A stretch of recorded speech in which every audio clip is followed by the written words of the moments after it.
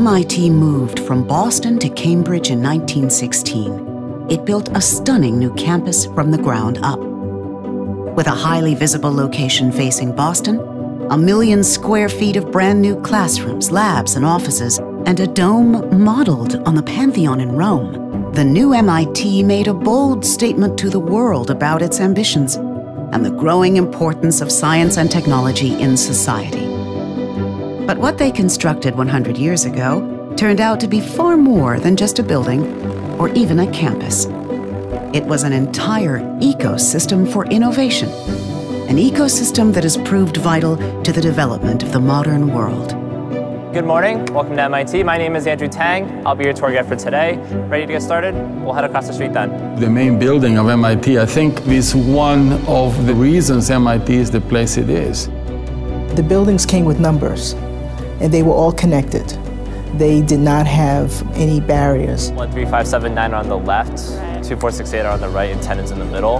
And in a certain way, it is a physical embodiment of MIT's core ethos, which is of collaboration and innovation and not having walls separating us. In 1916, we moved over here into Cambridge. So if you kind of see right in the dome, it's inscribed the year it was built, 1916. It's been a tremendously successful 100 years, in no small part enabled by the vision they had in creating the main group. We have an incredible record of innovation. Number of companies started by MIT alums is staggering. Our impact in terms of technology is staggering. Our impact in terms of fundamental science is staggering.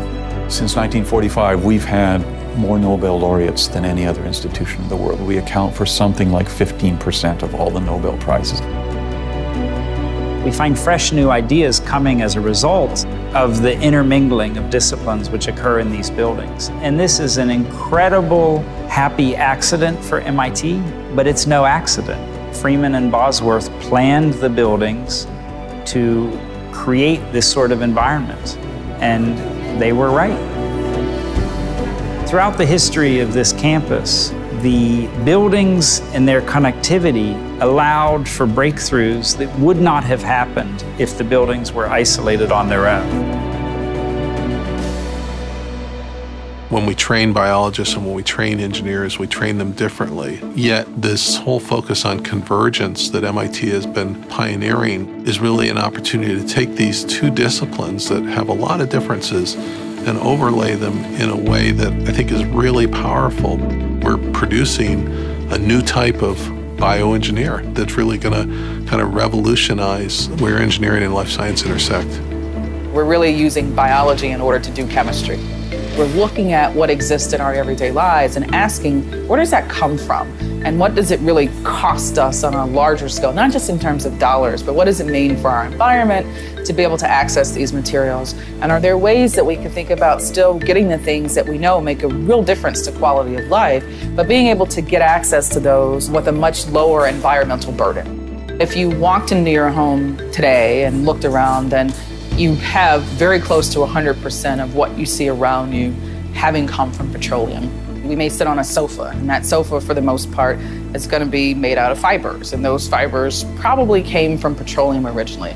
Or if we go into the refrigerator, we'll find a plastic container that contains our milk, um, and that plastic also came from petroleum. We'd like to see a future where you walk in and you sit down on your sofa, and it turns out those materials are from biomass, and you walk on your carpet, and those are from biomass. We're taking these teeny tiny cells and we're engineering them. So rather than having them grow and divide, we're asking them to make some specific product that we can then harvest or extract and use to make these uh, final compounds of interest. What we do actually requires that we look at not just chemical engineering and actually not just chemistry or not just biology. It really requires us to look at all of them together. Okay. I think MIT is a great place to do interdisciplinary research. There's something actually about the physical structure of MIT that makes it very easy to connect. You can actually go pretty far from one end of the campus to the other without ever having to go outside. And that turns out to be very useful in the wintertime.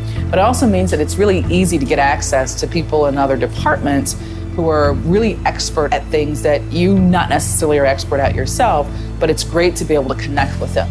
Everything at MIT happens to be interconnected by hallways and tunnels, all the academic buildings at least. The Infinite Corridor, I believe, is a sixth of a mile long, so it's not infinitely long, but it's a very, very long corridor.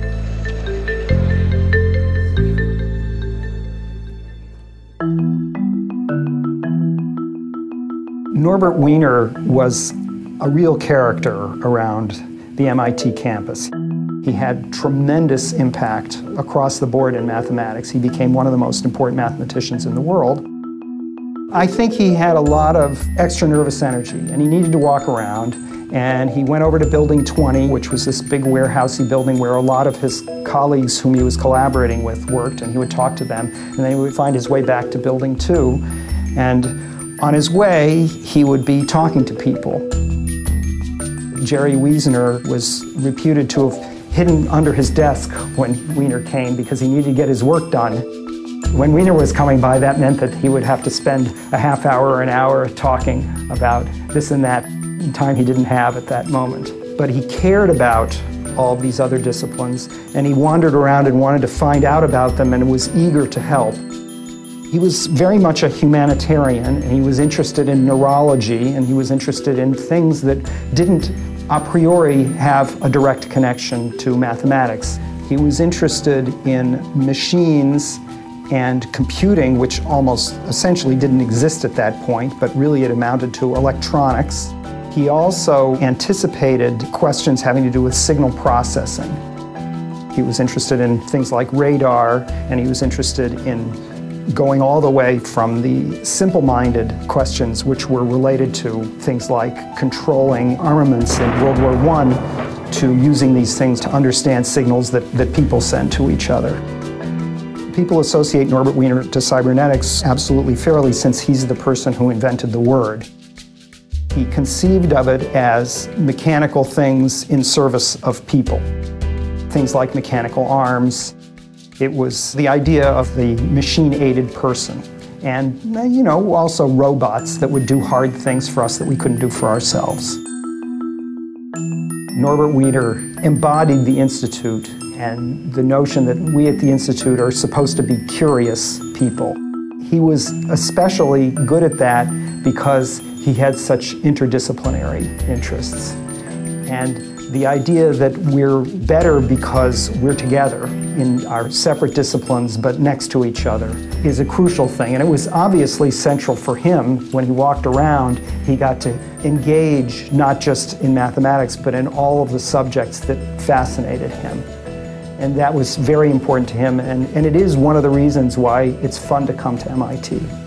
I mean, we also have a mascot, the beaver. Does he look a little like a beaver? I don't know. I, it's, it's possible. Anyway, he was busy for all that time. This is our glass and metal working labs, one of our newer things that we just renovated. Our official school model here is mens et manus, which means mind in hand. Not only will you learn, but you will do. And that's kind of the way a lot of the classes here are set up. In the 80s and early 90s, I was head of the algorithms group at the Lab for Computer Science. I was a professor of applied mathematics Tim Berners-Lee, who was running the Web Consortium then, was down the hall. And that was one of the nice things about the Lab for Computer Science is, you know, your, your building mates and your hall mates are, you know, really uh, great experts in, in different fields. And uh, the chance to collaborate with them leads to very interesting outcomes. And Tim was concerned then about web congestion. This is really before the web took off, but his concern was the idea of a centralized website and everybody trying to go there to get information would lead to a flash crowd or a hot spot. And it didn't take long to plant the seed that, hey, this could be a useful thing to work on. Danny Lewin came to MIT and joined my group in 96, brilliant fellow. And we really started thinking about some of these algorithms for how do you make the web work better. It was a collection of algorithms for storing and distributing web content effectively. Instead of putting a website just in one place or maybe two places and directing all the end users to go there to get the web page or the content, actually storing that content in thousands of places in an on-demand way. The more people that want it, the more places it's stored. It was fundamentally different. And it really worked. None of us had any clue about business. We met venture capitalists, we met industry experts. And so we bit the bullet and started a company in the uh, fall of 98. We got our first customers in early 1999. We grew very rapidly after that. And then the bubble burst. A lot of the customers went broke. So we had to do massive layoffs. And by far the worst of all, Danny was killed on September 11th. He was on the first jet that went into the World Trade Center. Was devastating to all of us. Uh, you know, he was just an incredible human being, a great leader, uh, you know, the kind of person you just want to follow anywhere. Today, we're a highly profitable business growing rapidly. This spinning globe here shows the cities where we have servers located. When you see a big spike coming out, that means we got a lot of capacity. We carry pretty sizable portion of the web traffic around the world. Right now you can see we're delivering over uh, 20 terabits a second. That's 20 million megabits per second of content. And we're doing about 40 million deliveries every second. Akamai certainly would not have happened without MIT, wouldn't have happened without the Lab for Computer Science and the environment there. The students and the faculty gravitate towards solving really hard problems that seem impossible. And then you have so many technologists from different disciplines at MIT, a chance to interact and go across boundaries. There are ties to multiple different departments to do cross-disciplinary research, and that's the accepted practice. It's normal to do that. You know, I could be working on computer science in the math department. That's the point of the architecture is that it puts people together and it makes it easier for them to interact. There's nothing that separates us. So you can walk from a material sciences office and two doors down, you're running into one of our music professors. It's all seamless, we're all connected, we're all one. So that creates an environment of interdisciplinarity, creates an environment in which there are no barriers, creates one culture. And there's just that constant flow of knowledge just going all the way through all the different hallways. It's what brings us together, in a sense, physically and in terms of just as a community in general. The building captures what I love most about MIT, which is that it requires you to be open minded. It requires you to have to talk to people who you may not otherwise talk to.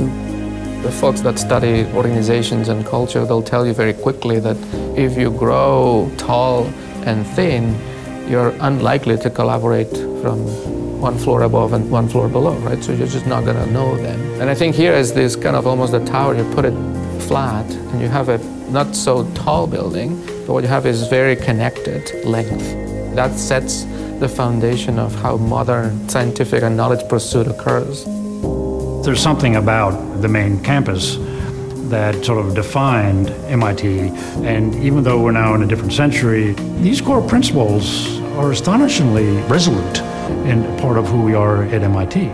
We do not have class ranks, we do not have valedictorians, dean's list, honors, or anything like that. When you graduate from MIT, you are just a graduate like anybody else that's ever been through the Institute. And the reason why is because we believe in teamwork. We believe that teamwork is what truly solves problems.